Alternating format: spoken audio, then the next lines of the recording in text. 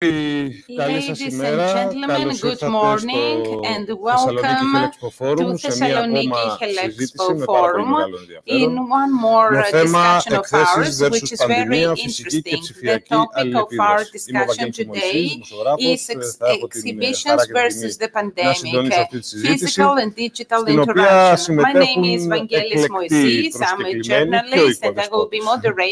Χέλικο. Θα έχουμε μαζί μας τη διάρκεια της συζήτησης τον Υπουργό, τον αναπληρωτή Υπουργό Εξωτερικών,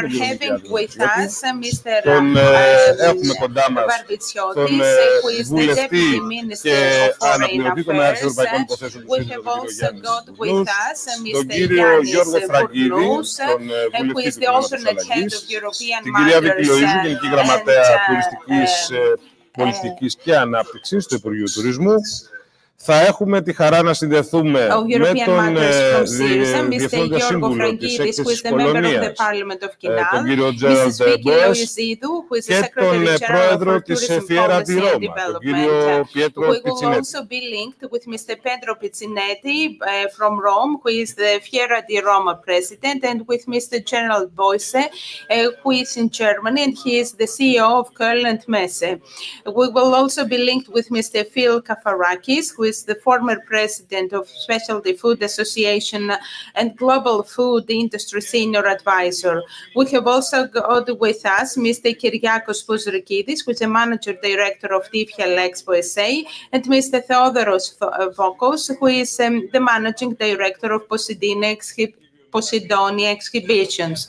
I won't talk too long, but I would simply like to say that the TIFHEL Expo, even before the pandemic, uh, was uh, uh, trying to handle a challenge that is to find a balance between the digital transformation of modern economy and the need uh, uh, for physical presence and contact. Um, between uh, colleagues, partners, uh, consumers, uh, between products uh, and customers. Um, thanks uh, to the possibilities provided to us uh, by digital transformation and has been accelerated by the hygiene crisis, one can truly understand the results of a pandemic in an exhibition industry. we uh, gives uh, 90 billion euros as income in Europe uh, and is related with hundreds of thousands of employment posts. Mr. Varvitsiotis, the Deputy Minister of Foreign Affairs, will be with us shortly. So I will start uh, with uh, the speakers uh, in the order that I presented them. So I would like to give the floor to Mr. Yannis Bournous, who is the alternate head of European matters from Syriza, who is also a member of the Greek parliament. I would like to ask all speakers uh, to uh, speak uh, for five minutes only. Mr. Bournous, you're having the floor. May I take off uh, my mask uh, for the presentation? Yes, all speakers are allowed to take off uh, uh their masks. Um, first of all, I would like to thank you for inviting me to participate in this uh, discussion the COVID pandemic has caused indeed uh, a, special uh, and uh, unfavorable conditions for international exhibition industry. But let us all be optimistic. Let us hope that this pandemic won't be permanent and that the uh, following TIF won't be the same. When the uh, covid pandemic goes away it will leave its mark uh, in the attitude and behavior of peoples. It will have affected the behavior of people uh, to be able able to shake and embrace themselves uh, and embrace each other. and this will affect uh, several sectors of the uh, economy significantly. Digital transactions have soared and hybrid education platforms. There are also positive uh, aspects in this hygienic crisis. It will leave us with a permanent feeling of alertness and responsibility. We will have learned that our attitude will affect other more vulnerable groups of people. This has happened in the countries uh, of Eastern Asia that have faced a hygienic crisis in the past. They have taken their lessons and now they are at a better condition to face the COVID crisis, uh, both at the level of state and at the level of social groups. So despite the increased cost, uh, we should undergo all these changes. And who knows, in the future, after taking all these measures and finalizing them and making them permanent, uh, this might make us more resilient and resistant uh, to other types of flu the characteristic of this pandemic is that uh, the countries that have a high globalization index uh, are more vulnerable to this uh, um, coronavirus. Um, that is, countries uh, that are the heart of uh, people going in and out and uh, products coming in and out. Even in Central America, the levels for the spreading of the virus were those cities that where we had a lot of commercial activities. That's why we must find a radical new way of uh, setting up international exhibitions. Exhibitions. I'm convinced that we can achieve that here in TIF Helexpo, and I'm sure that uh, our people here at TIF have the responsibility and ability to make the necessary changes and create a feeling of future safety in the future exhibitions because it's not an option to stop exhibitions. Exhibitions play a significant and vital role in the growth of countries like Greece. During the first wave of pandemic, we didn't have a high number of cases uh, simply because we are a level of low globalization index, especially in winter, because uh, we're not a, a high tourism destination in winter. That is why we need international exhibitions and to host them with great participation and uh, to invest in our participation in other countries' exhibitions because this helps our businesses to get into the map because we don't have the chance uh, that uh, other countries of Central and Northern Europe have uh, to access foreign markets. The Balkan dimension of the region should not be underestimated the uh, small and rich countries of uh, Central and Northern Europe are clusters of innovation and exchange of know-how. Uh, and the growth of Greece goes through the common growth of the Balkans and the exchange of any kinds of goods, cultural trade, and so on. And that's why the uh, agreement was of top importance for our region. Let, let us now move on uh, to the Belt and Road Initiative from China. This might be the catalyst to move on to other levels of outward looking for our region.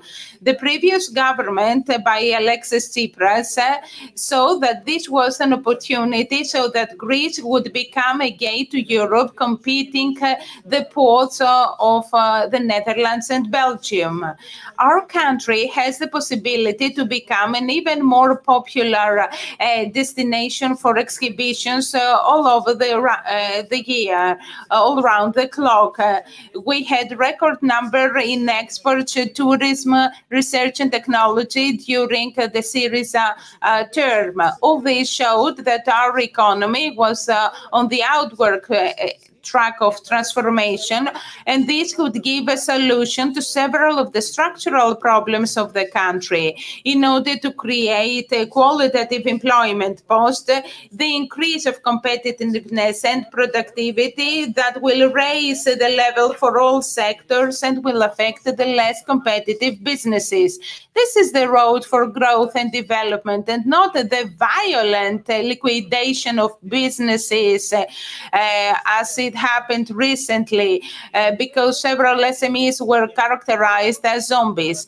The pandemics will be over, but it won't continue from uh, the point where we left. The post-pandemic era will be different. We will have change in the attitude and behavior, in the way labor will be organized, in our consumer habits and in trans uh, transports. Um, we will have become familiar with uh, hybrid forms of communication, both uh, physically and uh, virtually, as you have been doing here uh, during the Thessaloniki Helexpo Forum.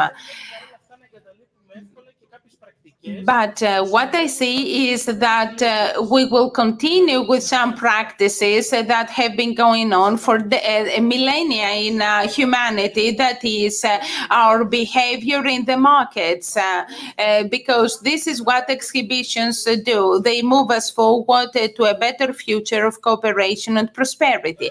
Thank you very much. Thank you, Mr. Bournous the alternate head of European matters from Syriza. I'm really happy to see that uh, we have been linked with uh, Mr. Miltiadis Varvitsiotis, the Deputy Minister of Foreign Affairs. Good morning, Mr. Varvitsiotis. Can you hear us? I'm really sorry that I cannot be physically with you today, although I have promised that to you.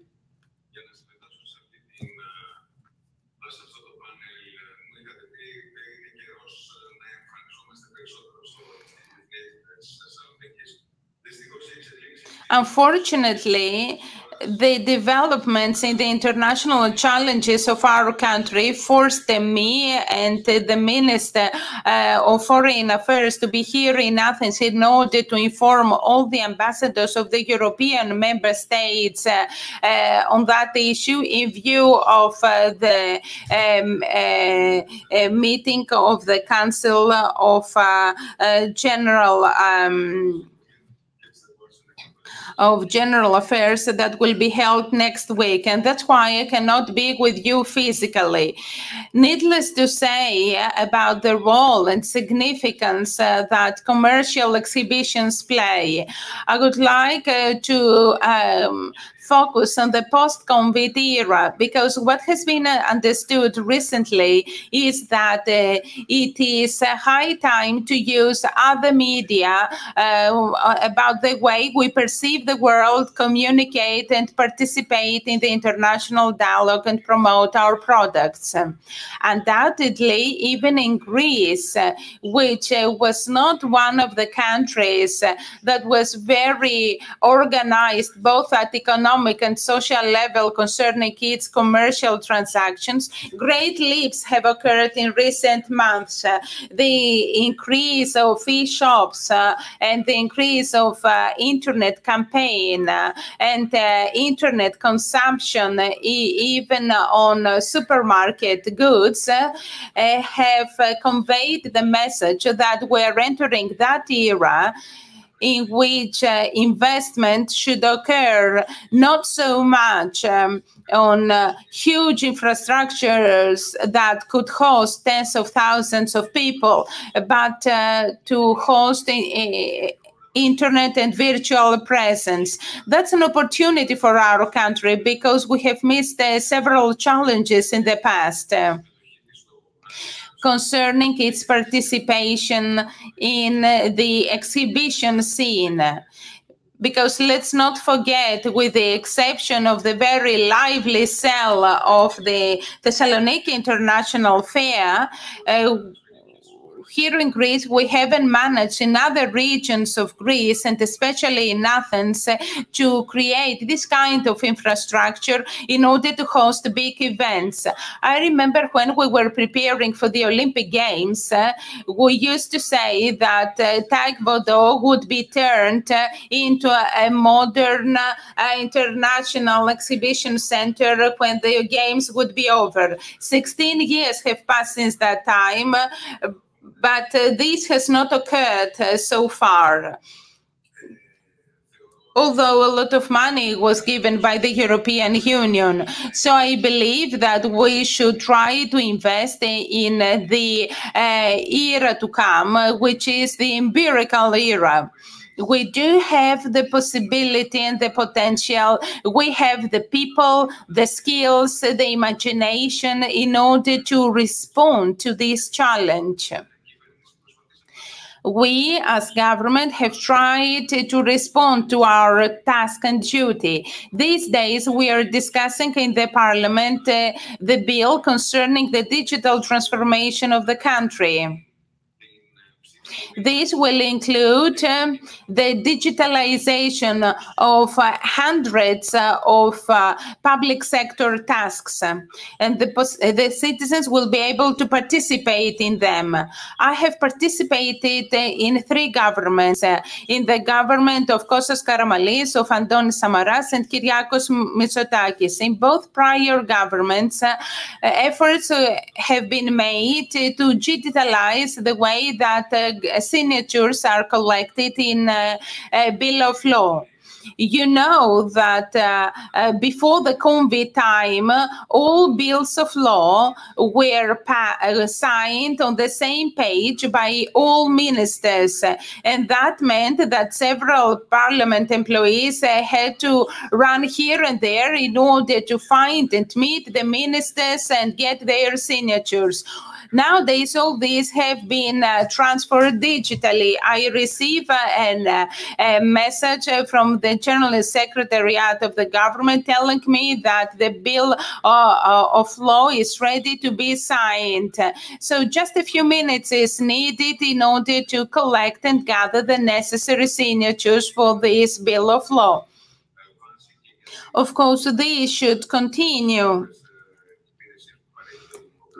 in order to be uh, used in the other services provided by the Greek state we have all been concerned about the way that these measures have affected our hygiene uh, situation. A lot of insecurity has been caused uh, among citizens about the situation in the education institutions of our country. I'd like to tell you that even nowadays we are at a very low index concerning uh, the uh, COVID uh, spread in relation to the European Union countries. regardless of the fact whether we achieve to have the opening of tourism, taking into account the tracing uh, um, of uh, cases uh, uh that would be carried out by a central by a central state mechanism that would be able to uh, trace and follow up all the cases. Although some countries considered at first that wouldn't be possible, nowadays more advanced countries uh, than Greece would like to adopt uh, and use this uh, uh, central mechanism. and Germany is such a country the result of that was that we had uh, a limited uh, coronavirus spread in our country. But uh, if we come now to present days, uh, we can see that uh, the existence of a vaccination uh, to fight the virus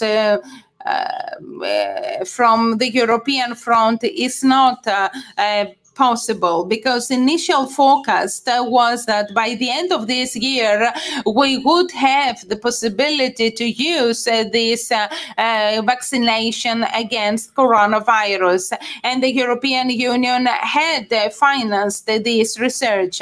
However we observe and we see that um, uh, the next year, 2021, would be similar, at least at the beginning, uh, uh, to 2020.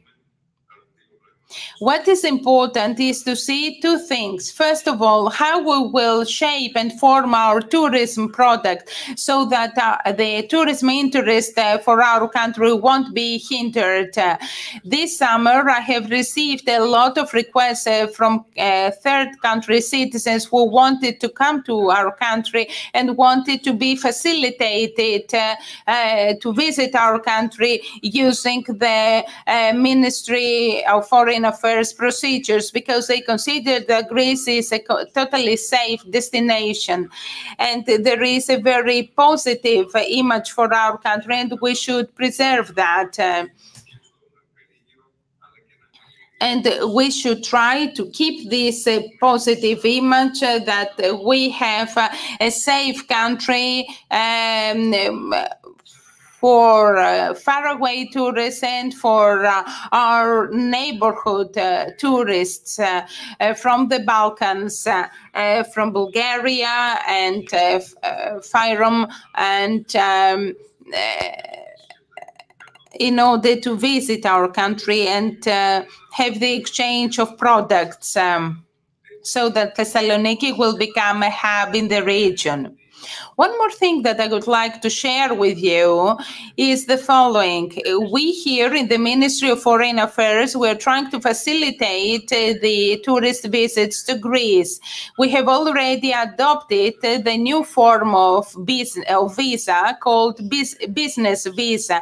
It has to do with uh, uh business partners and visitors who will visit Greece following an invitation held to them by Greek uh, businesses and companies in order to have transactions and uh, visit our exhibitions. Uh, several times there was great delay in issuing this business visa for Asian countries and third countries. And there were a lot of complaints expressed by the Greek business world we have solved this problem with the new business visa.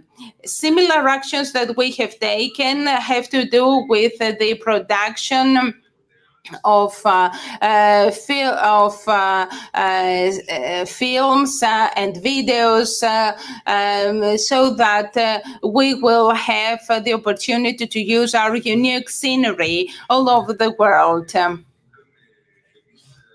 finally, this time, these days, we are holding the presidency of the Council of Europe. The Council of Europe uh, uh, is uh, uh, the guarantee of the principles and values of Europe. Uh, this institution was founded 71 years ago. All participant countries, signatory countries, expressed their faith in democracy and human rights respect. Uh, and uh, through the Declaration of Human Rights, this has become part of our legal um, uh, culture. And this shows that Europe is not only an economic area, but is also advocating the defense of these values.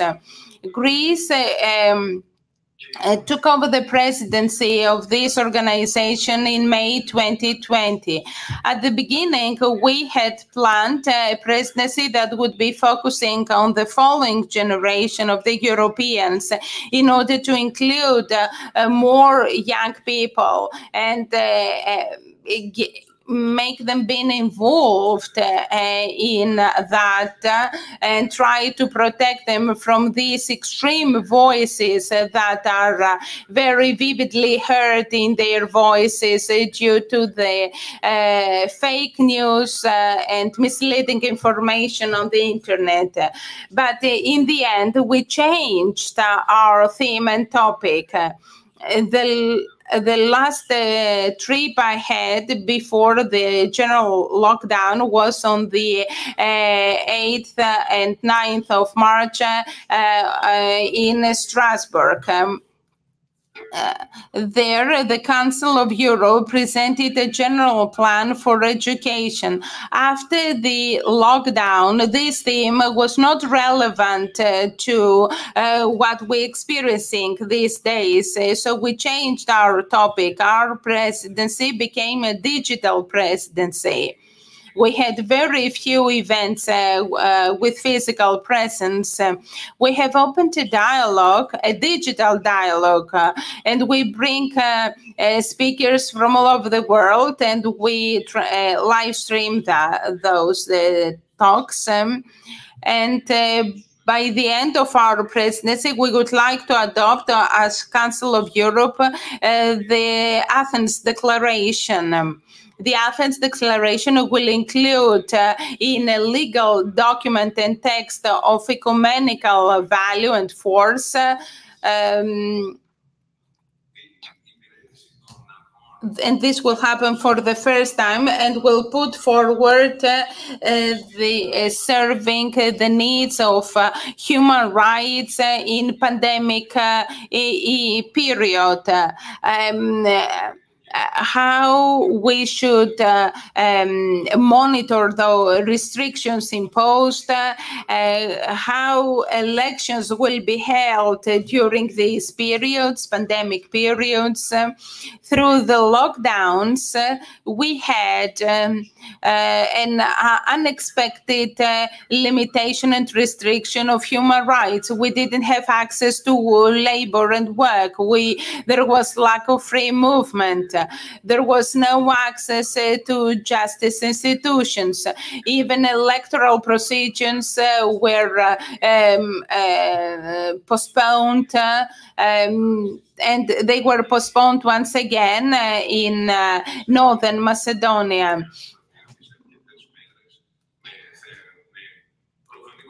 And um, although um, uh, finally the elections were occurred it took longer and um, luckily the uh, the elections were held smoothly and uh, the result uh, of the elections was not questioned um, Mr. Varvitsioti, if you allow me, because we won't have you with us later on, I would like you briefly to talk to us about economic diplomacy.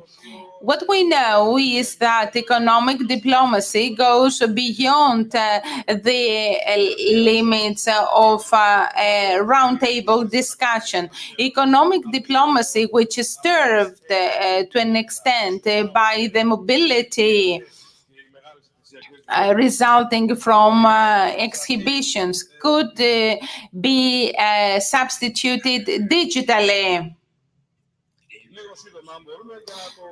Just a brief comment, please. My view and what we all re have realized is that uh,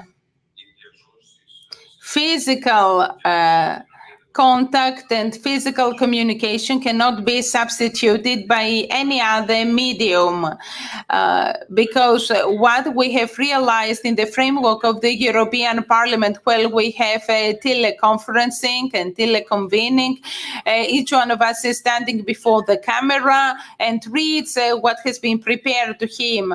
And he doesn't have uh, um, the this uh, uh, side communication, the sideline communication, that is to talk with people in the corridors during dinner time and during the breaks. Therefore, it is important to preserve, maintain, and insist on preserving the institution of commercial trade fairs, trade trade exhibitions and congresses. In the Ministry of Foreign Affairs, we are transforming the way that our country has been participating in economic diplomacy so far.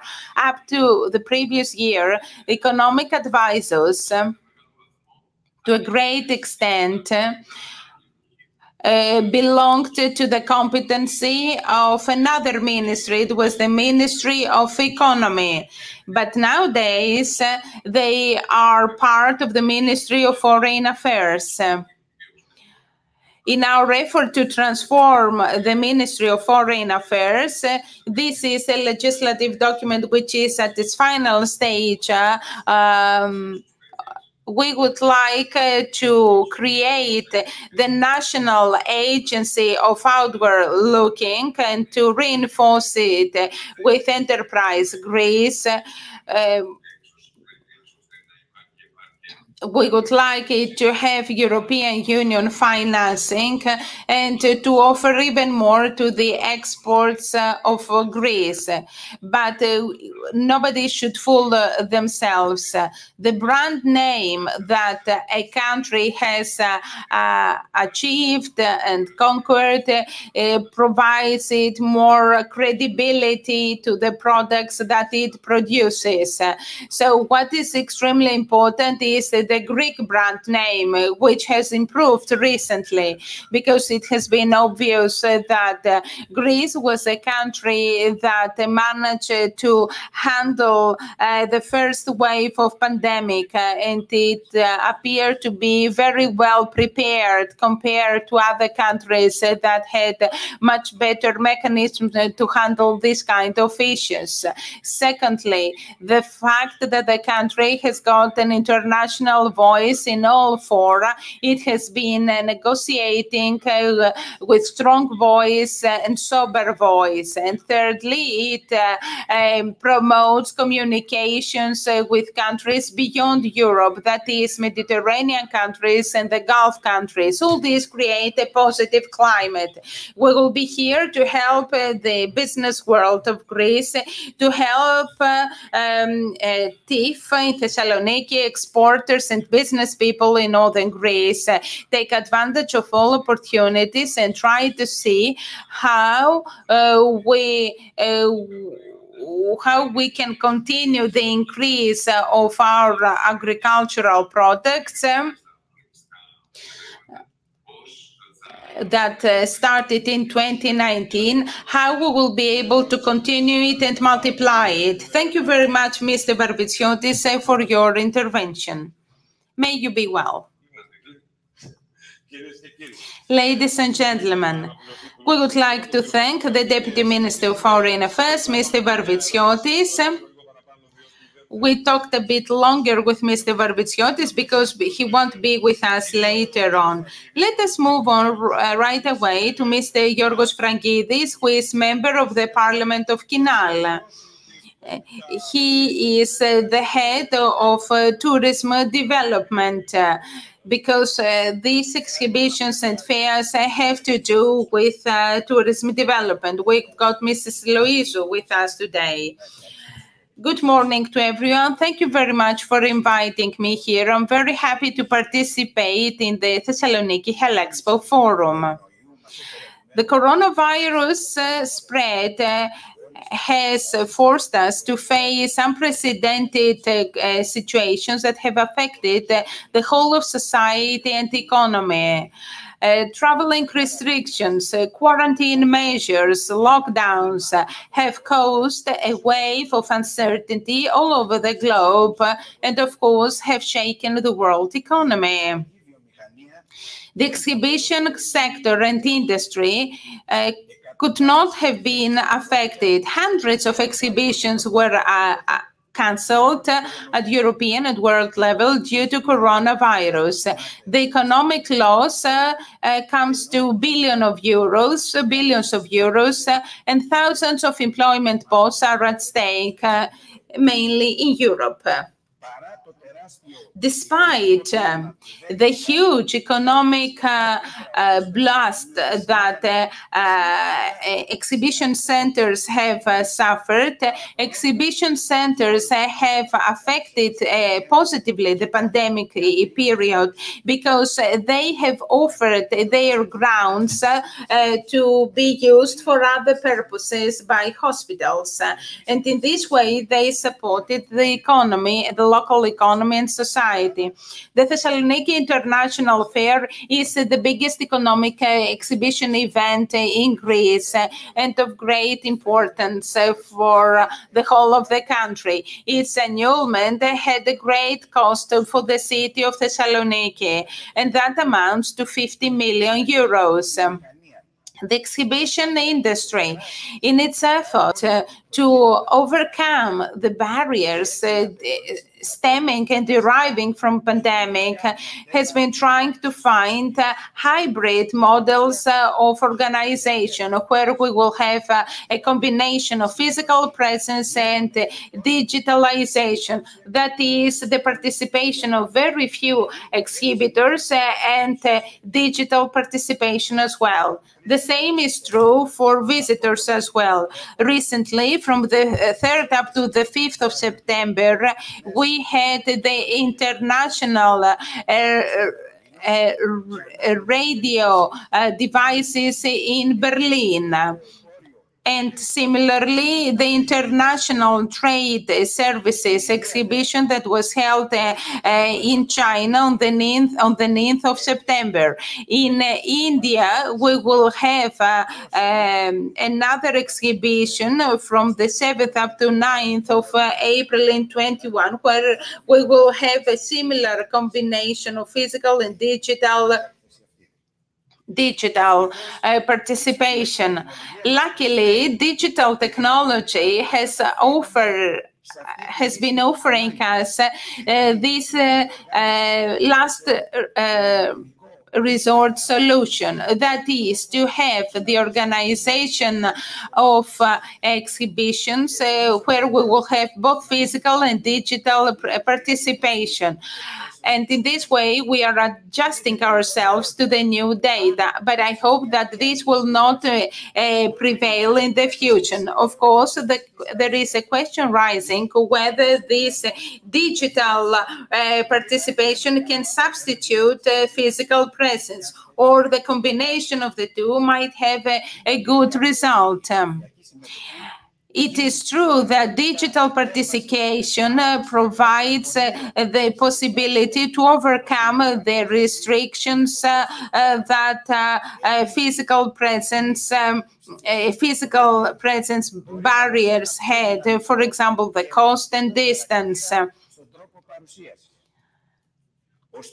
However, Nothing can substitute, in my view, uh, the power and the force of physical presence, networking, exchange of views, uh, contacts with potential clients, um, information and briefing for new markets. All these can better be achieved with physical contact. Physical presence allows you to look uh, at your interlocutor um, uh, at his face, uh, to see the body language and start uh, a, um, human contact with a handshake. the meeting of exhibitions on similar products gives the possibility to exchange views uh, on these products and uh, the possibility to develop projects and partnerships. That is, getting to know potential clients cannot be substituted by a digital relationship. Perhaps a discussion uh, um, a, discussion held, uh, the chat that we have while drinking a glass of wine can never be uh, substituted uh, um, by digital technology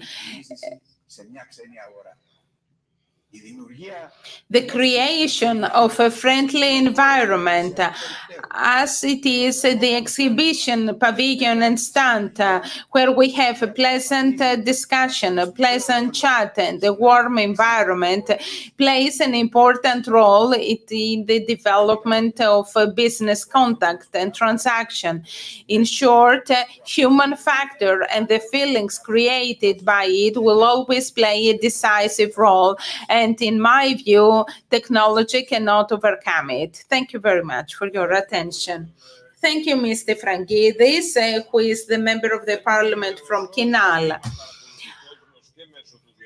We have a lot of participants uh, who attend us on the web uh, and they use uh, the Thessaloniki Helexpo Forum platform. I would like to inform our uh, um, digital viewers that they can address their questions to our speakers by sending their questions to press And uh, we will continue with Mrs. Vicky Loizou, who is the Secretary General for Tourism Policy and Development. Um,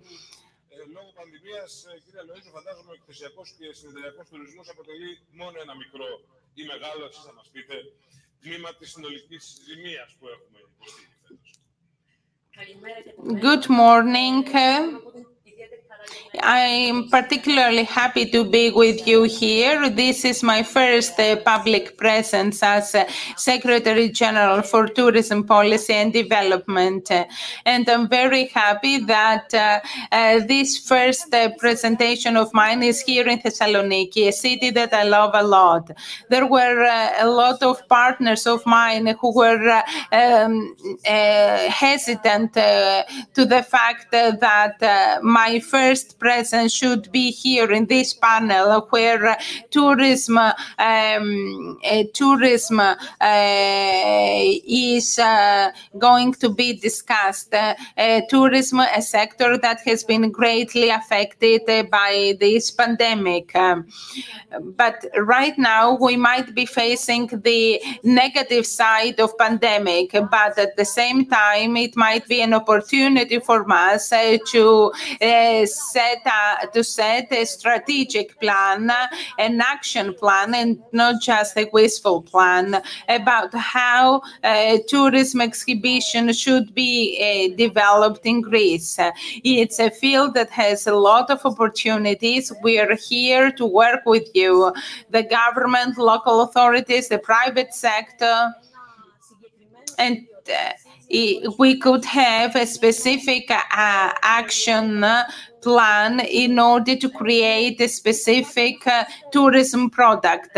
This has always been uh, uh, one of the objectives of the Ministry of Tourism, that is to develop professional tourism because it can provide us tourism all over the clock throughout the year. Besides, it is not isolated from the other forms of tourism. Therefore, if we are able to work systematically in order to put forward the systematic uh, advantages that our country has to this field and to work in order to improve our weak points, because we are aware of the fact that we're not perfect, there is still a lot of room for improvement. Uh, for example, um, better promotion of our country country and better infrastructure. So uh, we could have a, a better uh, diversified product uh, that will be uh, better environmentally friendly and uh, and this has been promoted uh, due to pandemic. And due to that, uh, we had the new forms of uh, um, uh, uh of uh, conference and tourism, uh, the digital tourism, professional tourism and conferencing, these hybrid forms. So perhaps we could say that if we take advantage of this new model and having a concrete plan that will be uh, developed by each party, according to their competence, we will be able to make Greece competitive in this field. And we will be able to support and help our economy in total tourism is not just one sector uh, of the Greek economy. Tourism is an integral part of the whole of the Greek economy, especially Congress and Convention tourism is linking uh, uh, the whole of the society, both the primary and secondary uh, sector uh, with uh, uh, tourism, because we cannot think of exhibition tourism and convention tourism being uh, cut off and isolated from the rest of the Greek society. We should find ways uh, uh, to make a plan that will uh, include and incorporate uh, all the aspects of the uh, city and the society where the event is held, the exhibition is held, the local citizens, the businesses, cultural and civilization all aspects of uh, a local area should participate in order to be able to have a competitive, uh, modern um, exhibition product and convention congress product. We have uh, best cases examples of uh, other cities that have taken advantage uh, of uh, conference and congress tourism.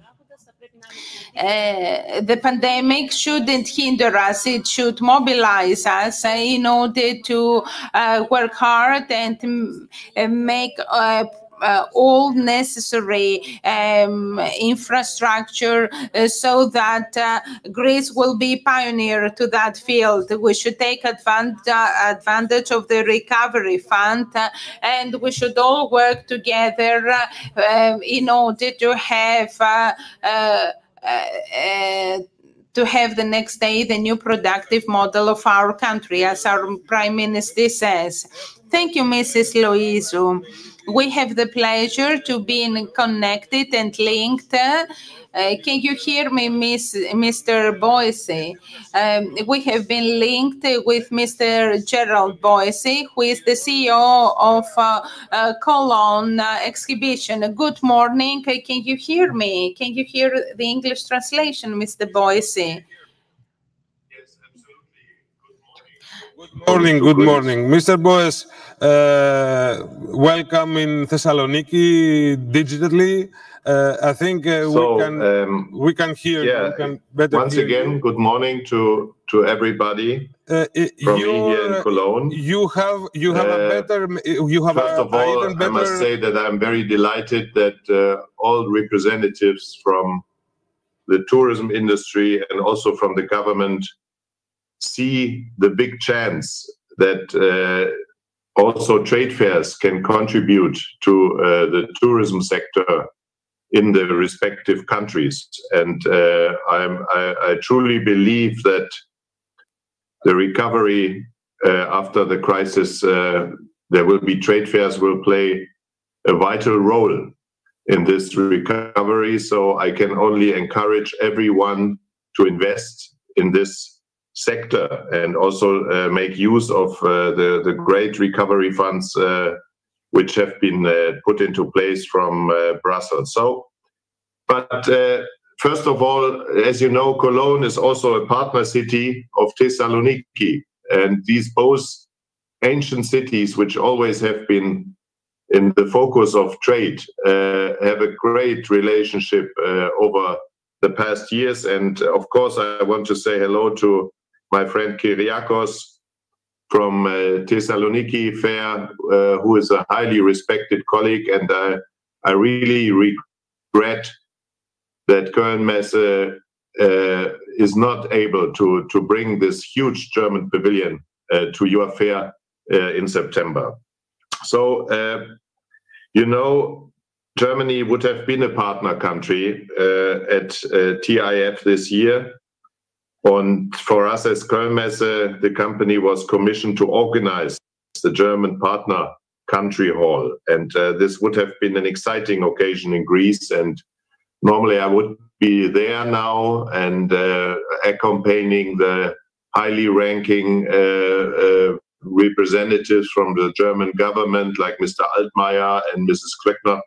But uh, and at the end of our preparations for this exhibition, some German 60 German exhibitors had confirmed already their attendance. And uh, of course, then the effects of COVID 19 intervened here as well. And uh, I can only say that uh, also my team uh, was really hardworking uh, to to get as many as good exhibitors uh, to Thessaloniki uh, this September, and we had an impressive pavilion with about 6,000 square meters gross space. Uh, and it's really it's really a pity, and we are very sad that we we cannot put this together. But not only this pavilion was hit by the crisis, of course, also our company. Maybe I can explain a little bit how Kölnmesse has a, a, similar operating model like Thessaloniki, of course. So we we own the fairground, but also we are organizing uh, major events uh, throughout the year. And we were hit by the crisis uh, uh, at the end of our historic record year in 2019. So uh, then we had uh, the recent months, we have been forced to postpone or cancel many of our events. And this has been, of course, very difficult for us as we know how important trade fairs uh, are, of course, for our customers. And that is why we are continuing to work on the relaunch. So the first physical events in Cologne are supposed to be held in November the art fairs, uh, Art Cologne and Cologne Design Fair. So uh, the crisis of this coronavirus has, uh, I think, only accelerated the digital transformation. And we heard uh, the recent speakers mentioning uh, the so called hybrid events in the future. And I think now the crisis of COVID 19 that trade fairs need to currently undergoing uh, change. And uh, that is trade fair organizers not only have to follow this change, but also to actively shape it. And uh, digital events are helping us to learn for this future. So that means concrete for us that we are increasing uh, through digital uh, uh, events and through hybrids events, we are increasing the reach for exhibitors and visitors on a digital basis. For example, we we had to cancel uh, all our exhibitions until uh, end of October here in Cologne. Uh, even the government played a very very constructive role here in uh, Germany and North Rhine-Westphalia. Uh, they they uh, allowed us actually up from uh, June, July to organize exhibitions. Uh, but we have to say that our exhibitions in Cologne have such a high proportion of international exhibitors and visitors coming, of course, from so called uh, states where the infections are still growing, like uh, US, like uh, Asia, uh, like South America so we had a lot of cancellations from companies who were expecting to see exactly these visitors here in Cologne. So we had a great uh, uh deal of discussions, uh, and then we decided uh, very, very, uh, yeah, strictly to organize, for example, our big uh, show Gamescom, which is one of the leading shows for games and video uh, we decided to organize this only digital, not physical. Uh, and I must say we we learned a lot in uh, the preparations to to this exhibition. And in late August, uh, Gamescom marked uh, purely digital form at our uh, location here in Cologne. And in spite of COVID 19, millions of fans from more than 180 countries have not been physically here in Cologne, but had an opportunity to experience uh, new shows and offers from more than 370 partners. So we had at the exhibition in good times in Cologne physically about more than 1,000 exhibitors, but we managed to get also for the digital version of Gamescom almost 400 partners. That is really uh, encouraging and uh, that was not an easy task. And within four months, we, we really put a new digital exhibition together. And but it was worth it. Um, the digital Gamescom set a benchmark for the international trade fair sector. Uh, it was the exhibition with the highest digital reach worldwide. and it belonged to the three major digital events worldwide, not only exhibition wide. So we had more than 2 million, for example, live uh, viewers uh, for the opening night live. That is more than four times we had last year. And we had in total about 10 million gamers, uh, what I said, from 180 countries watching at the same time our platform Gamescom now. So you can see that uh, uh, I think instead of canceling a physical exhibition, I think every organizer has the duty to uh, to make a proposal to the market, even digital. Otherwise, he would be uh, written off uh, in the customer base, and uh, it in our very demanding and ever-changing times. if you are one year not in the market, it could be that you are gone forever. So I can only recommend to everyone uh, to to keep uh, in touch with the community, uh, even digital on a digital base. Otherwise, you will get difficulties. So, but nevertheless, and this is, I think, a very important message to the ministry, to the all involved uh, who believe in exhibitions. The echo from the community after a digital game Gamescom was very clear. The community wants to return to the exhibition halls. They want to meet, talk, try out the games. And that is why we are planning Gamescom 2021 as a so called hybrid event with full speed now. Uh, and this will, uh, of course, enrich the festival feeling on location with exciting online content. So we will not stop Uh, uh, uh, working on the digital Gamescom, but at the same time, of course, we will do everything to put a physical Gamescom together. So the digital content and the digital part of our exhibition business will not vanish after COVID 19. It will remain a, big chance uh, for the exhibition industry to, to wider the audience and to go for uh, target groups which are not able to travel from all over the world uh, uh, uh, to the exhibitions to Cologne. But at the same time, the physical Gamescom is the emotional peak for networking of, of, of a whole community physically. So digital expansions are absolutely useful and humans are social beings. Direct negotiations the hands-on product experience going to remain crucial elements of the business encounter even after COVID-19. I'm completely convinced. That is why I firmly believe that, as I mentioned before, hybrid events are the future. So the trade fair business is going to remain exciting. And of course, I'm looking forward to that. And I send my best greetings now to Thessaloniki Expo Forum. Thank you very much. Thank you very much, uh, Mr. Boese. Uh, are you going to stay with us for the rest of the panel, from the rest of the discussion?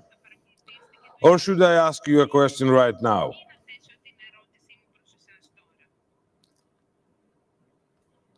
Mr. Boese, do you hear me? Uh, anyway, λοιπόν, ε, θα περάσουμε, I believe that we will have the opportunity to listen to Mr. Boese later on um, for my question. Now we move on to Mr. Uh, Kyriakos Pozrikidis, uh, who is the Managing Director of TIF-Helexpo and our host. Mr. Pozrikidis, uh, this year we experienced uh, the unprecedented to have uh, uh, Thessaloniki September with no TIF. But it was uh, an excellent way the uh, the way you reacted and you covered this gap. Uh, thank you very much. Um, for uh, inviting me to participate in this panel. Uh, what I'm going to do actually is to sum up what we have already mentioned and to provide some figures that will show why it is important to have uh, international affairs. Um, I would like to thank my dear friend Gerald Boese from Col Cologne. They did excellent work uh, in Cologne. Unfortunately, the um, decision of the infectionist didn't allow for TIF to be held, uh, um, despite the hard work that our friends from Cologne had done to participate in TIF 2020. I'm very happy to have uh, all the um, uh, distinguished speakers here talking about the uh, event uh, uh, industry and this event organization.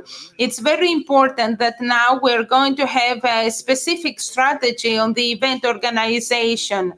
Um, it is important that the, the, Ministry of Tourism would like to elongate uh, um, the tourism period throughout the year. And it's very important that uh, the ministry sets uh, this goal uh, as a steady goal. I believe that all our colleagues will agree with that, uh, uh, both our, our friends from Italy and the president from the USA. what is needed is a different different strategy um, because they are different markets. We are here in order to contribute with the Greek uh, experience, and that's why I mentioned Mr. Kafarakis, who is bringing us the experience uh, from the other side of the Atlantic Ocean.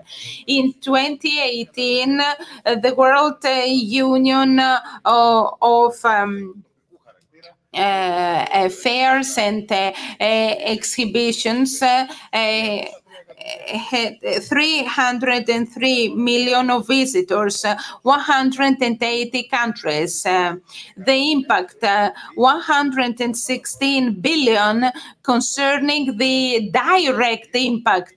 what is that direct impact? Whatever has to do uh, with uh, the exhibition center, that is uh, cleaning, security, carpeting, or the, these figures came from the London London, School of Economics, uh, 116 billion, and this uh, resulted in 1.3 um, uh, million of employment posts. It's not that the economic impact; it's also the quality impact that helps the unemployment rate. Um, if we also take into account the secondary impact, that is distribution and transport, we reach 275 billion at world level. The greatest share goes to uh, Northern America and then Europe, 3.2 uh, million of employment uh, post and the participation in the global GDP is 167 billion. So if uh, exhibitions was a capitalist country called exhibition land, uh, then they would be ranked in the 76th position of uh, global GDP. It would have higher GDP above Ukraine, Sri Lanka, Kuwait, it is very important uh, the, uh, the added value provided by um, uh, exhibition industry uh, to the creation of uh, global wealth. What happened in 2020? All this activity dropped one third after lockdown. So the loss and damage is 158 uh, billion worldwide. 52 of that uh, in Europe it affected almost 2 million, 2 million employment posts. They were lost either full-time or part-time. It is estimated that 260 million euros were lost in the contracts that would be uh, uh, held uh, among companies in ITB in Berlin or in Fancy Food in New York, and they were cancelled. This amounts to 260 million euros. In Thessaloniki, the loss uh, only for uh, the 10 days of TIF uh, amounts 55 million euros. Um, it's not just we that uh, we are learning here in the exhibition grounds, but also the hoteliers and the restaurant owners. They also learn. And of course, we learn for the old people that died uh, in uh, um, the uh, old people's homes. And of course, we start talking about digital exhibitions. Yes, we can have a digital compensation, exhibition that doesn't demand any uh, infrastructure and any grounds and any venues. It could be organized from a basement in India. What is needed is just a cloud, uh, because uh, uh you uh, the um, the city and uh, the area around the, the um, around the exhibition. Um, Uh, uh, in uh, 2019, Google announced that it had 160 billion uh, revenue from uh, its exhibitions, digital exhibitions, but there was no there was no diffusion and dissemination of this wealth and this profit. we have estimated that based on the turnover that TIF uh, Uh, makes uh, every year. Uh, we have estimated that there is a spillover effect uh, um, uh, to the city of Thessaloniki, and this for 2026 will be 500 million euros. This is what we have estimated, and this will create a lot of jobs. This is really high figure, and as Mr. Fragidis said, it's not just economic infrastructure. We also have social infrastructure. The Javits Center, which is held in the center of Manhattan, where Mr. Kafarakis organizes um, fancy food. It was turned into a, a hospital, convent uh, hospital uh, in uh, Poland the pavilions were turned into uh, grounds where they distributed uh, hygiene material. We here uh, in TIF, uh, we provided our pavilions and grounds uh, to uh, local hospitals or for homeless shelters. Um, so we provide help uh, to uh, social to the society according to the social needs as we did when the earthquake, uh, the big earthquake occurred in 1978. Who are our clients and customers? They are both our exhibitors and visitors. Um, exhibitors uh, um, is a, a maths uh, concept as well, as you know. Um, in Greek, it is the same word. Uh, in English, it is exponent. Uh,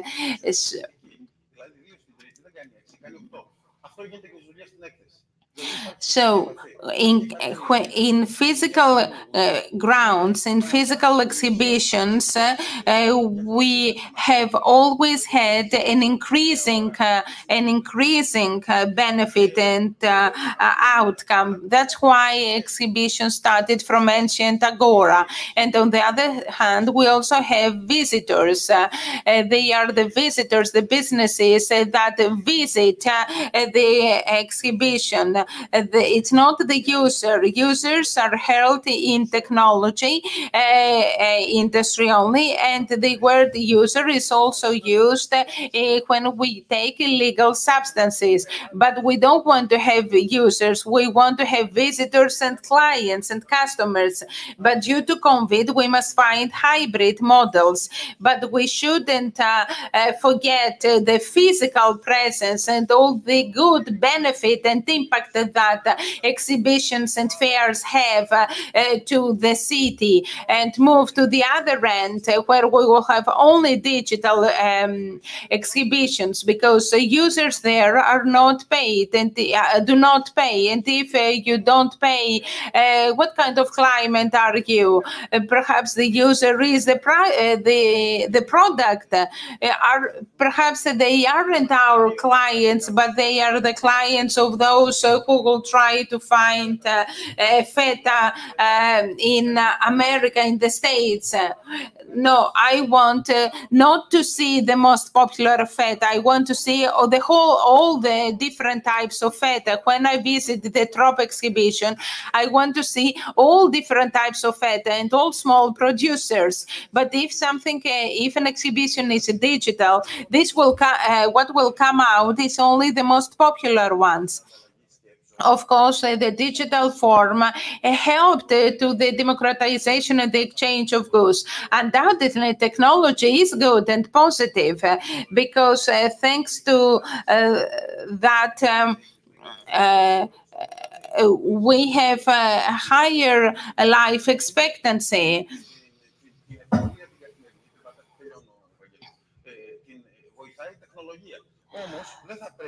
But um, technology helps uh, extreme voices, of course. So we should create algorithms that will help the real the real trade and the real operation of uh, exhibitions. And I agree with Gerald, who said that uh, exhibitions will never be substituted. When you go to Institute uh, to see feta, you touch it, you smell it, you see the packaging, you don't see just a video or something on the screen that tells you that it's good, but in the end, it's just uh, grass. That's my first um, uh, comment. I believe that we will overcome this difficult uh, COVID era. Hybrid products help, but we should not forget that physical presence cannot be replaced. We move on right away because uh, we have uh, uh, we won't have much time. We move on to Mr. Phil Kafarakis, who is the president of Specialty Food Association and who combines uh, two sectors uh, that are affected by COVID, both exhibition and catering and the food industry but at some part uh, food industry was benefited. You're having the floor mr kafarakis.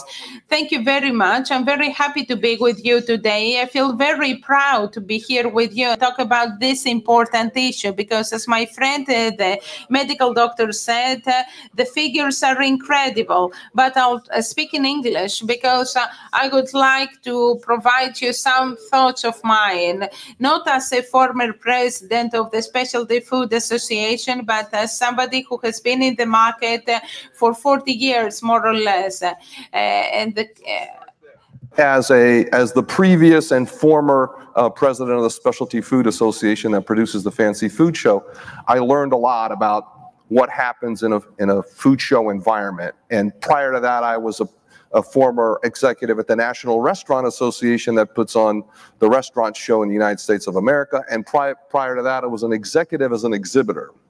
So the events business is a, the great equalizer, as you just heard.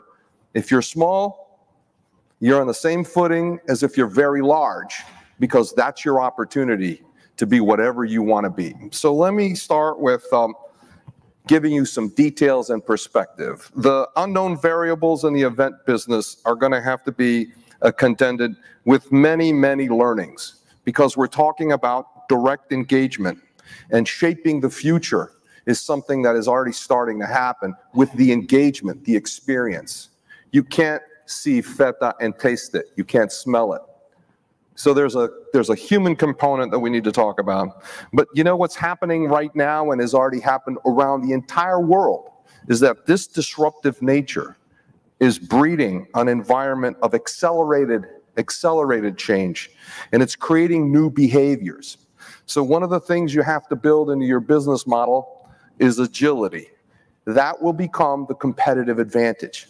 Whether you're the Greek government or whether you're a private enterprise, or whether you're an association, or whether you're a prefecture, doesn't matter. You have to come together and develop agility. The other thing that's going to happen here very quickly, and you see it in the marketplace, is complacency. Complacency will destroy those that are unwilling to accept new norms. So no matter how far you go, whether you want to stick with a vir virtual environment that you're going to do forever, or you're going to stick to your old periptero and have nothing but a one-on-one event. If you don't have that ability to change, you will be destroyed. So I'm going to share with you some details. I think everybody covered the very strategic notion of what's happening today, what could happen tomorrow. Uh, I have four perspectives that I'd like to pre present to you during this period that I call the intermittent reality. It's intermittent because, like everything else, this will go away and we'll have to deal with something new. So, the first thing, of course, and it's something that we should all respect, is the health and safety of all the, the stakeholders. Um, there is no opportunity to cut corners. There's no options to not do some of the protocols that you're seeing today. Uh, the fact that millions are dying and we have to respect the lives of those people is really important. But health and welfare clearly is no longer a table stake. You have to do it. And you already see the protocols, and congratulations to the Helexpo team for setting a world-class example of what these new protocols are. The question, though, is it cannot be done individually. The guys in Cologne cannot do one thing. The guys at Helexpo cannot do one thing. The guys at Javits in New York City cannot do one thing. So I would uh, express to you, learn about what is happening in a standard environment. Certifications are already happening. The International Association of Events and Exhibitions, IAEE, has a certification program that provides consistency for all the facilities. It's something that needs to be promoted to all the share the stakeholders, whether you're an exhibitor, an attendee, or an organizer, you need to be proficient in what the certifications are. There is a need to prepare the attendee but most importantly, there's a need to educate the exhibitor with what these protocols are. It's in advance, it's pre, on site, or virtual. We'll talk about that in a minute, and post. Those are the kinds of things that have to be put into your marketing plans, your communication plans, and the awareness for attendees and protocols in advance is critical. These conditions are already being accepted.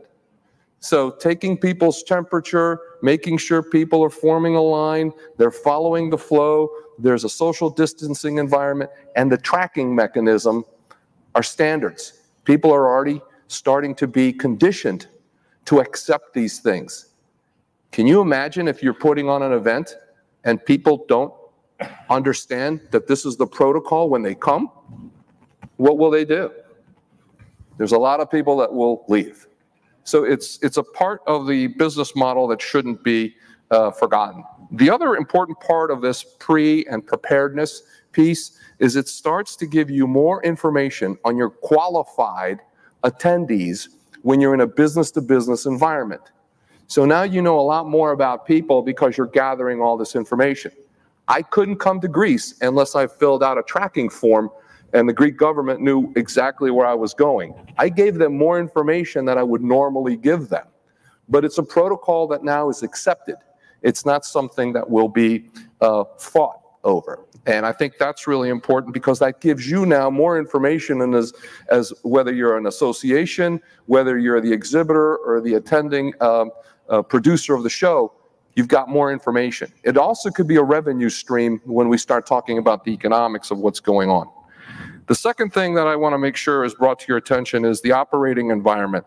So in an operating forum, you're definitely going to have to leverage exactly what's happening here. You're going to have to leverage technology. The emerging virtual platforms are everywhere, and that's a whole new risk because some people have a real virtual platform that leverages te technology, and other people have a made up element that's going to require you to do some homework. The use of technology, the interactive engagement that technology provides us, these hybrid events are here to stay. If you don't believe that, you're going to be lost. And I think you need to start thinking about the synchronized ele elements that come together with putting on events. The experiential flow of how things are done. In my mind and through my experience, and again, these are my perspectives, in my uh, uh, opinions. They have nothing to do with the Specialty Food Association or the National Restaurant Association. You're going to be broke, breaking it down into several several events. Discover, there's a discover phase, there's a connect phase, and then, of course, there's a transaction stage that's going to have to happen. And it has to be sequential. And it could be in different parts of a location, and then it could be virtual. But at the end of the day, it's this type of thinking that's going to have to manage how you use every inch of your space. Pods and clusters are going to be the new norm. People are not just going to roam around like they go into a museum, but I think you're going to have to move people in pods and clusters. You're seeing that happening in airports. You're seeing how planes are being uh, de debarkation and how people are put on an airplane. It's the same kind of uh, element when you think about how you, whether you're an exhibitor and how you're going to engage your personnel, whether you're the facility locator, whether you're an attendee, and clearly, whether you're going to be the producer, whether you're an association or a federation, your membership has to understand that. The other important thing as I get into this is the exhibitor preparedness becomes a new revenue stream for you, uh, add, adding education to the services you provide, adding tech tools to the services you provide. If you're conducting, uh, if you're Helexpo, why wouldn't you give somebody a virtual experience that they can uh, buy? Why wouldn't you give them an element to be able to engage in a technical platform that you normally wouldn't sell them? Uh, those are things that you need to think about in an economic environment that's going to change. The other important piece is as everybody comes together, the private and, and uh, public trusts, the private entrepreneurship that takes place with the partnerships, insurance and legal considerations are of the utmost importance. In my previous life, as I had to struggle with whether I was going to cancel a very significant show and the facility was being turned into a public use as a hospital, the members were going crazy because they wanted me to cancel the event right now. But the lawyers and the insurance people could not assure me that I was not going to have an economic problem on my hands. So there's a delicate balance between your duty to your members, your exhibitors, your community, and certainly uh, how you're going to act with uh, your your um, your uh, uh, event provider. The um, attending the experience for the attendees, you heard the good doctor say it's an experience. They're customers. They're people that are looking for that thrill ride, like in Disney. They have to be able to be engaged and moved along. Think about that model as you bring people through. They stop they understand there's a virtual component. They move down into the parking lot, maybe that you've turned into a tent where they can touch and taste things. If you go to the hotel and have breakfast, they serve you the food. It's a whole new model uh, that's going to be required in the experience days. And then I'll leave you with this notion of coordination. And one of the wonderful things I can tell you, as somebody who grew up in Greece, who loves Greece, who wants to do business in Greece, I am so very proud of how the Greek government is starting to establish synergies and how the Greek government is starting to have συνεννόηση με όλα τα υπουργεία. Και το πιο σπουδαίο που χάρηκα σήμερα μου άνοιξε η καρδιά που γνώρισα μια υπέροχη γυναίκα. And the most important thing is that uh, um, There's just one woman, but let me tell you something. It's so good to see one woman on, on an all old guy, white guy panel. So I uh, want to close by telling you that uh, we started with this thing being the great equalizer, and uh, it's important you understand that the diversity and a collective approach is establishing new norms now that have to be incorporated. But the one thing I want to leave you with is that our competitor is not us, and individually as competitors.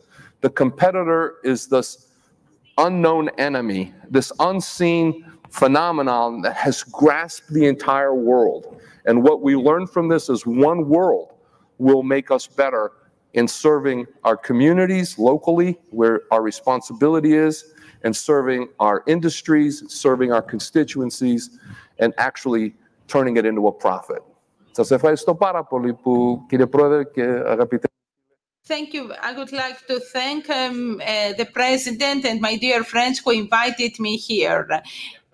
Κουράγιο για το τι θα γίνει. Courage. Ευχαριστούμε πάρα πολύ κύριε Καφαράκη. Thank you, Mr. Kafarakis. And now we move on uh, to the last uh, uh, speaker, uh, of the speakers who are here, we will listen to Mr. Theodoros Vokos, who is the managing director of Posidonia Exhibitions. This is a big event that has a lot of parallel events. Um, um, social and uh, shipping events. I would like to thank the organizers for honoring me to invite me to participate in this forum. And I would like to congratulate them on what they have managed to succeed in such short uh, term. We're talking about the digital transformation of exhibitions, but before we bury uh, the traditional exhibitions, I would like to talk about practical transformation. My objection is the following. The whole commercial activity has restarted uh, uh, with limitation and restrictions, of course. Uh, uh, the commercial centers, uh, schools, um, um, flights, only exhibitions and events are closed. And I'm trying to understand what is, uh, uh, why is this happening? Uh, why have we targeted exhibitions? exhibitions operate having the same uh, uh, norms as shopping centers. there are you can have limited amount of people getting in, and there are specific corridors where you walk. and when you enter a pavilion, it is just like entering a shop in a shopping center. Um, the same safety norms uh, exist uh, in uh, the um, in the exhibition center and uh, they are even higher uh, because we will have foreign guests. However, the rebooting and restarting of exhibitions haven't started yet. Uh, probably because uh, they were international, but the cruises have started once again. Cruises again is a closed area 3,000 people are together in one ship. They stop at the local destination. They go out. They see. They get in touch with local population.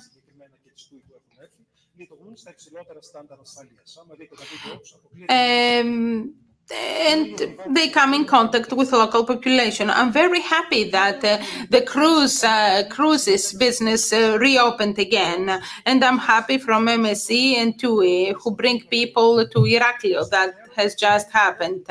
Our uh, Greek tourism organization has started uh, participating in international events. So we are the only ones here in Greece uh, who are still not organizing exhibitions. I would like to uh, ask the government uh, to give us the opportunity to prove that we have all necessary safety standards with fewer people, of course, but we can have the traditional form of exhibitions and these exhibitions to start right away.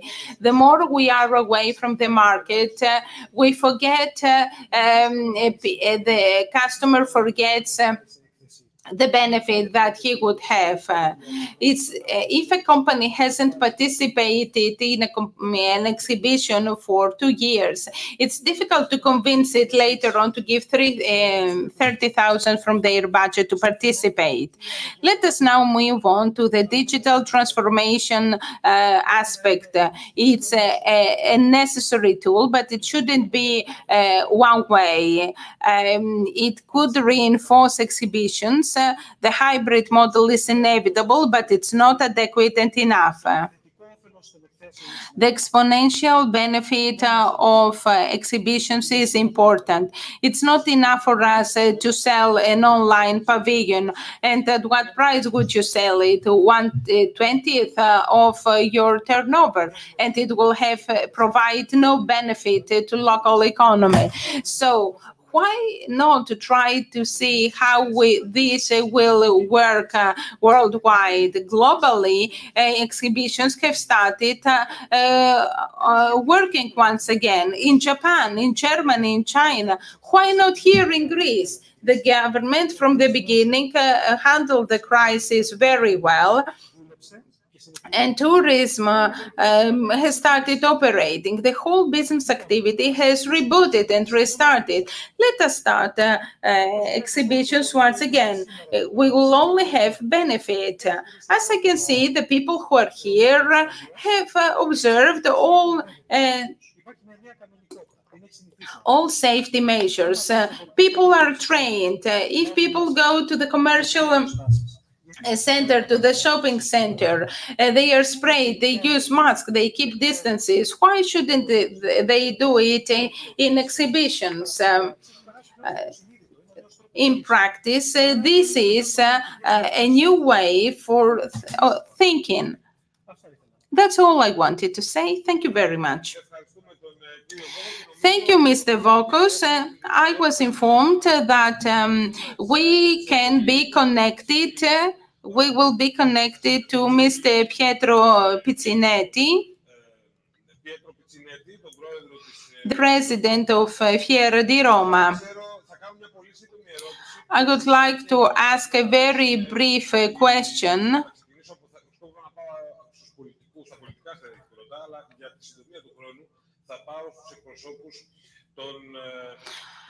A question not to um, political um, people.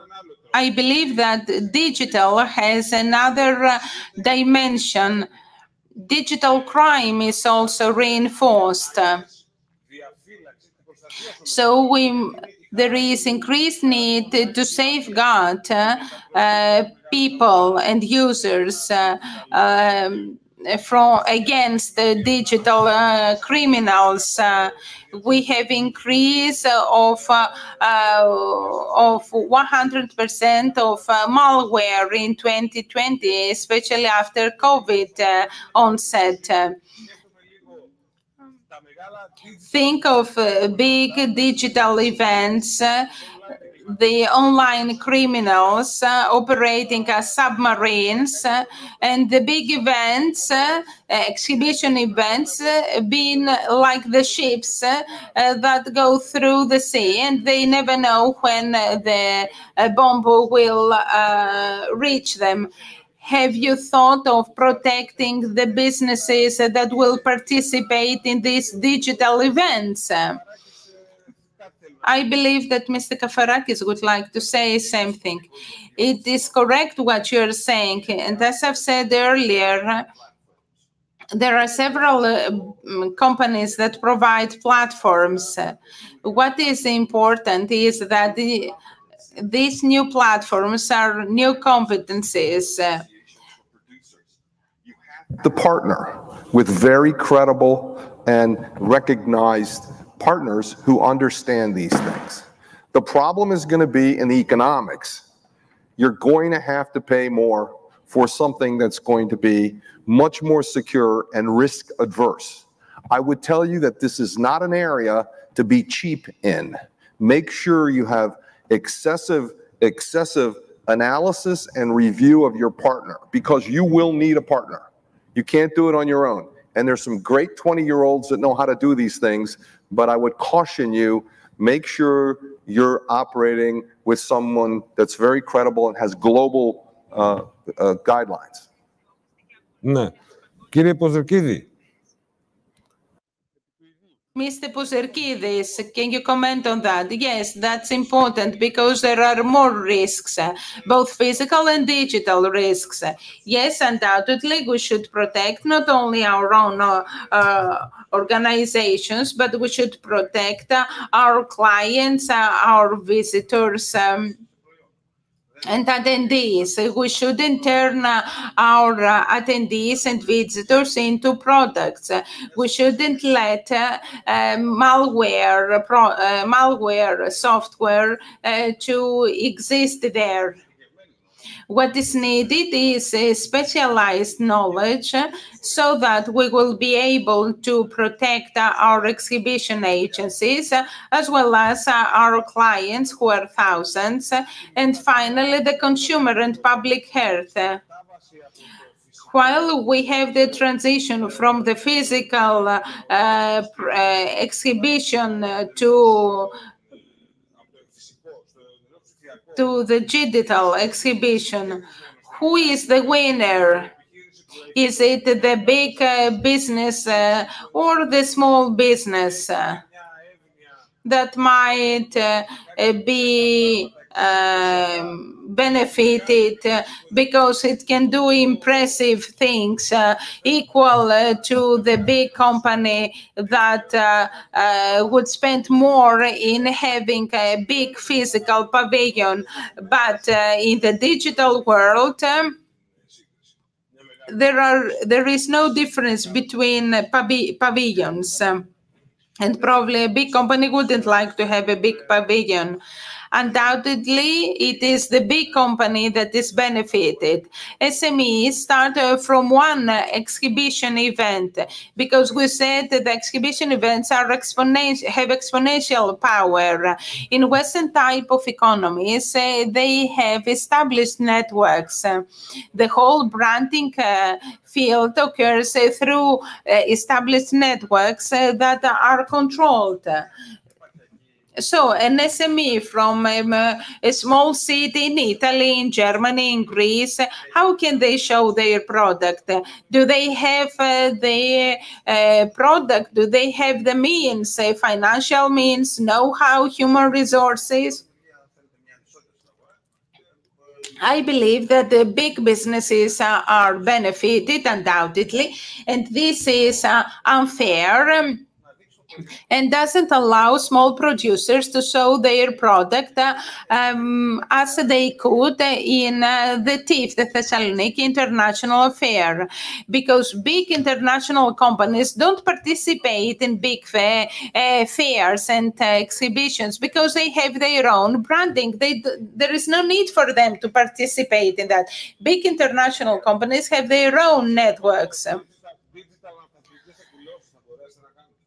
Could you have digital uh, digital um, uh, rowing events very very difficult. The parallel events uh, that uh, occur during Posidonia, Posidonia exhibitions want to bring the shipping industry closing. Uh, that is uh, to give more opportunities for networking uh, to attendees. That's the greatest challenge for digital press platforms. A lot of conference digital services are held in the, the shipping industry, but uh, physical contact is missing. Uh, what is needed in the shipping industry is time, time for discussion, time for signatures, and this can occur only um, uh, when you have a personal physical contact. Uh, you can't order uh, online, uh, you can't order a tanker online. Um, we still haven't found ways uh, to have a network, uh, uh, digital networking to be to people. We have the pleasure to host Mr. Pietro Pizzin, Piccinetti, who is the president of Fiera di Roma. Good morning, Mr. Piccinetti. Good morning from Greece, from Thessaloniki. You're the president of uh, Fiera di Roma, uh, which have suffered great pain. That time, you know, Greek time, Italian time. Good morning. Good morning, all of you. And of uh, you're the president of uh, Fiera di Roma uh, of Italy, which have suffered great pain from uh, the COVID-19 pandemic.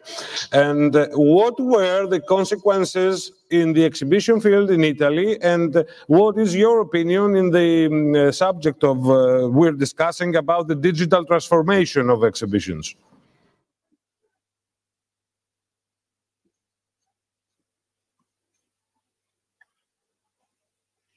Hello, I can't hear anything. Αν μπορούμε, μπορεί να μας ακούσει, μπορούμε τεχνικά να το καλύψουμε αυτό, να μας ακούσει ο κύριος Πετσινέτη. I said,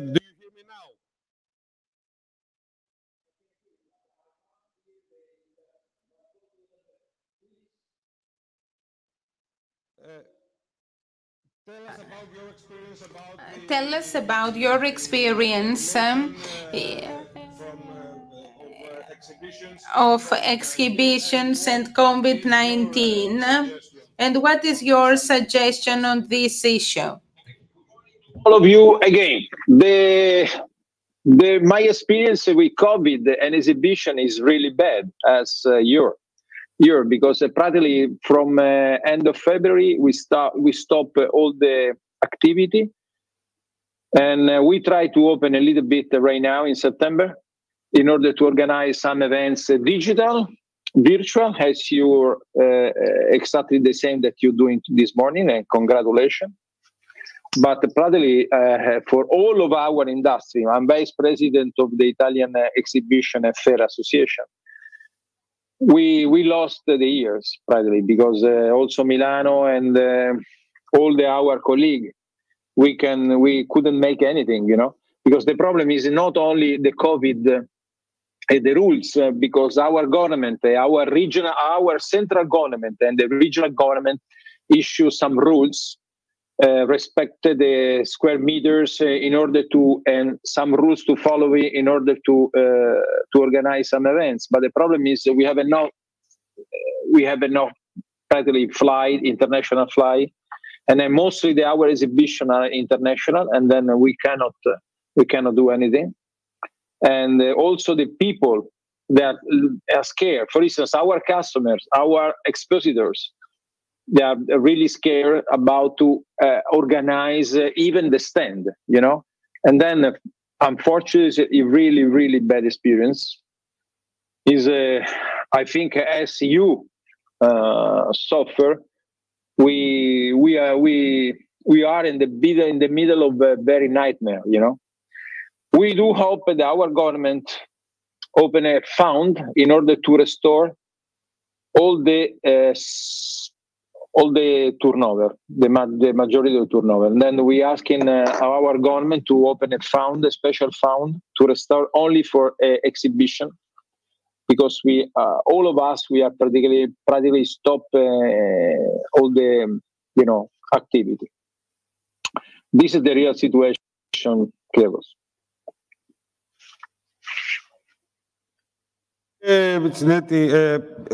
πιστεύετε ότι ποια είναι η δική σας οπτική... What do you believe uh, uh, will happen concerning the digital uh, exhibitions?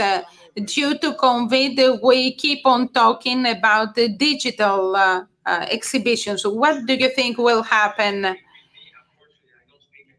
Can you hear me? Can you hear me? I will rephrase. Uh, I thought you were you have the translation. Uh, can get it, but I will I will uh, say it in uh, English. What is your opinion in the in the subject of the um, uh, digital transformation of the exhibition uh, uh, subject we are talking uh, about, the, the digital transformation of exhibitions? Under my opinion, the exhibition are made to be physical, you know, not virtual at all. And then, uh, of course, virtually can help us now in the very dramatic moment. But uh, I really do hope that our industry can, um, you know, can switch again to physically events very soon.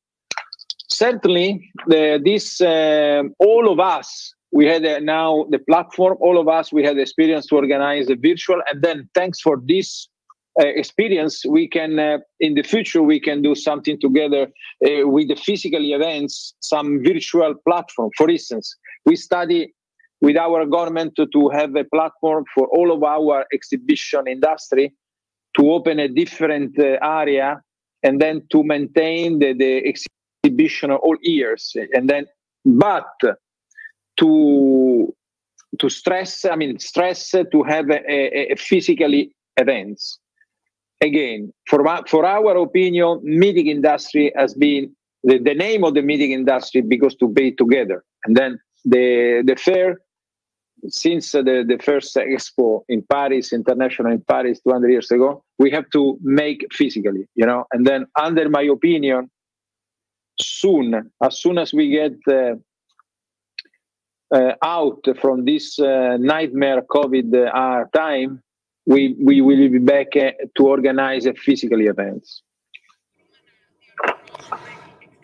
Do you last question? Do you have the do you have the possibility to to begin the exhibitions again without the vaccine in the no unfortunately uh, you are right. We we had to wait the vaccine because uh, as i told you before the, the most of the people they are scared in order to organize to be also to to to to have a, stand you know to, to meet some other people. And then uh, because uh, if you switch on the, the, the tv only COVID. You switch on the, the newspaper. If you read the newspaper every morning, COVID. If you talk in the radio, COVID. I mean, we are focalized on the COVID problem. And then uh, this is also a psychological uh, approach that is really negative. And uh, unfortunately, our sector as a tourism, business tourism, we are the we are the sector that most suffered for this uh, kind of uh, problem. And then unfortunately, we gotta wait the, the vaccine. And then my opinion is that the reality start uh, by end of 2020, the 2021. I, since the three months ago, I was convinced that uh, could be start again the business in spring 2021, but now uh, if you if you look in the possibility to have vaccine and also the, to restart the, the fly international flight um, and connection. I think to gotta wait. I think we gotta wait uh, uh, at the end of 2021, and then we have to be prepared to also to pass the you know the 2021 almost at the same condition that now. Thank you very much, uh, Mr. Piccinetti. Greetings. Thank you, thank you to all of you. Sorry again to to join late. Ευχαριστούμε πολύ τον πρόεδρο των, της... We would like to thank um, Mr. Piccinetti, who is the president of uh, Fiera di Roma. Uh, president, I would like to ask one joint question for the three political executives of the panel. I would like to ask all of you to try to avoid the ideological aspect uh, uh, of the question. Could you please uh, give us the practical approach? Um, the Prespes agreement was an issue raised during the discussion. Exhibitions are a are a field where a lot of uh, um, political ideas are presented. Uh, recently, we saw the issue of the branding of Macedonian products. Uh, we saw what uh, businesses uh, um, from our neighbor state um, um, brought uh, launched complaints against Greek companies. How can we overcome the fact that the Prespes agreement has left some pending issues that haven't been concluded. So how can we tackle this issue uh, at economical level? Because we will have to face business people from our neighboring country, uh, Northern Macedonia. I, in my presentation, I talked about the impact that it would have uh, on. Uh, uh, I said that Prespes agreement would have an impact on the exhibition field. we must have a co-development of the whole Balkan Peninsula because it would push our country upwards. Why? Because it's first. Our country is the first economy so, talking about our relationship with the country of North Macedonia, the commercial, the business relations, uh, I believe that we should have self confidence. The Prespes Agreement in this uh, aspect set the framework within which um,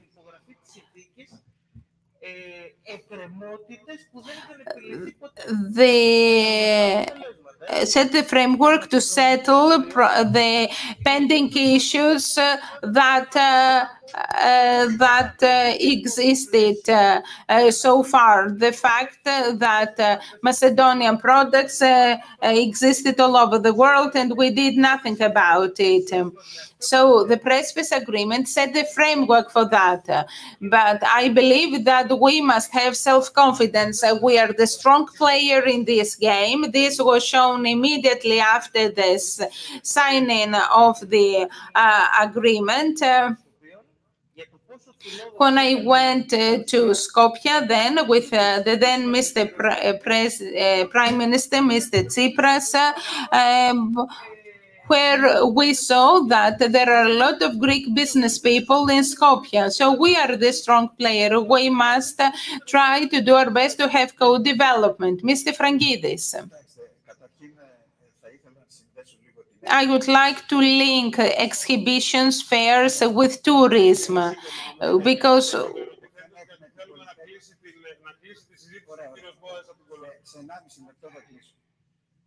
just one minute. We don't have the possibility, uh, uh, the luxury to um, praise ourselves. The situation is hard. tourism has been greatly suffered by coronavirus. In 2019, we had 31 uh, visitors, 18.5 billion of uh, income. Now it's just 3.5 million. uh, million so we have a lot of uh, people who, whose jobs uh, are affected, uh, jobs that have to do with exhibitions and tourism. And right now, although we aren't talking, uh, we should uh, uh, although we should be talking about uh, uh, overcoming this um, barrier. Now, about the agreement no, I asked about Macedonian products. Yes, the Prespes agreement has some important negative elements. One of that is uh, the Macedonian products. We here in Greece have a serious problem, a huge problem, because they come out and use the Macedonian name in their products, and we can when we export our products, we have a problem. What does this mean? It means that all political forces eh, should uh, not have hidden agreements because these are issues of national importance uh, and we should have one national line on that. All political forces in Greece should sit down at the same table, discuss uh, these issues uh, uh, so that all Northern Greek uh, producers who have products that are exported to be able to do that freely. Uh, Mrs. Loizou, this issue went under the carpet due to COVID. Uh, um, but um, when COVID is over, we will still have uh, this um, the the problem of the branding of Macedonian products. What can we do about it? I think there is a wrong impression created here. Macedonian products are supported by Greece. Our government has done its best in order to have the Macedonian product brand. Yes, that's right. But what will happen? Um, when the next TIF occurs, when uh, our neighbors will come and uh, uh, uh name their products as Macedonian products. Uh, because they uh, they are against the, the branding that we made uh, Maced Macedonia the Great. As Secretary General for Tourism, I will talk about what we're trying to do. We want to link tourism with agricultural products and gastronomy and an overall policy that will be able to reinforce local economy. And in this way, Greek products will be so well known that all of us will be able to know which are Macedonian products, what is their quality, and they will be so competitive that they won't have to. Uh, that so that we won't have to be afraid of uh, northern Macedonia. what I want to say is the following. The Ministry of Foreign Affairs uh, does its best and the government of Mr. Mitsotakis uh, does its best in order to mitigate all negative points uh, that might have existed in the Prespas agreement. We move on forward. We don't look back. The Ministry of Foreign Affairs has been working systematically and does its best. And uh, we, the Ministry for tourism, the Ministry for Development and Agricultural Production do their best so that our economy and product will be the best in the world and can be promoted in the whole world. Thank you very much. Mr. Boese, I think you should have the honor to close this discussion.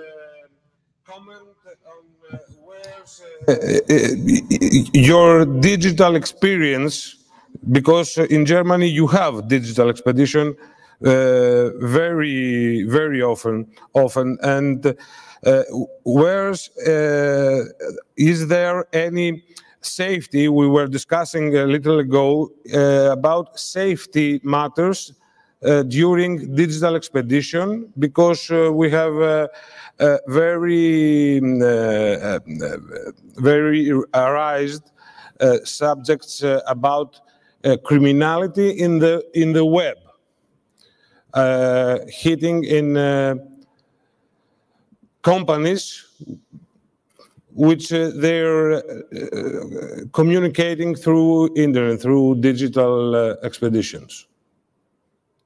Do you have safety matters for digital expeditions? Yes, uh, of course, we have put uh, safety matters in place. And uh, also during last year, there were some cyber attacks to big organizers in Germany.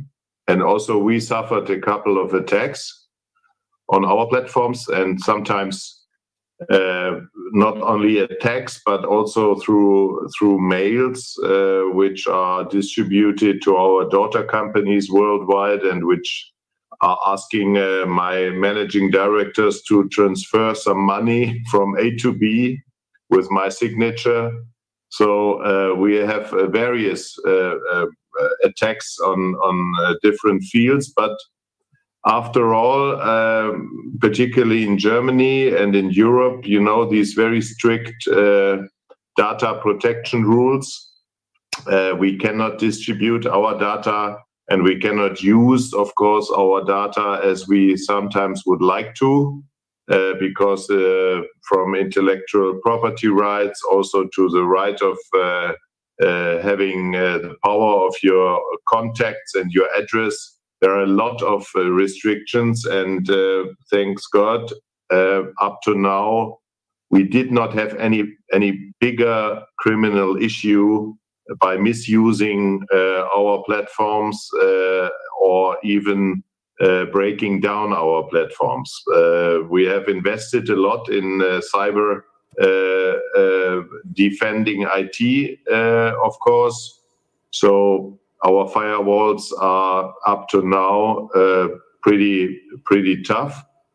And, a last, a last question, a last very short question. What is, uh, what do you, uh, how do you see the possibility, the possibility to recreate uh, the cancelled German participation in uh, Thessaloniki International uh, Expo after two or three years? Yeah, of course, we would we would like to to repeat uh, this uh, uh, participation, but the this final decision is made uh, from AUMA in Berlin uh, because they are uh, giving us the financial supports and they're giving the financial support to German companies. and so the last decision is made by the politicians, and unfortunately not uh, by the trade fair organizers. So of course we we have put a good uh, um, uh, benchmark with 60 exhibitors that shows that uh, the German economy is very interested in uh, foster the economic relations to Greece, but it has finally has to be evaluated and decided by the politicians in Berlin.